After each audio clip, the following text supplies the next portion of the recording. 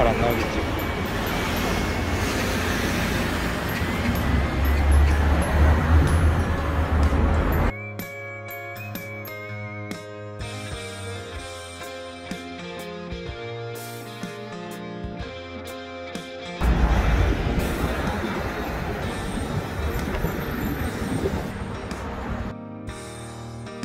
반드시 마스크를 착용해 주시기 바랍니다. 또한 사진 촬영 시에도 반드시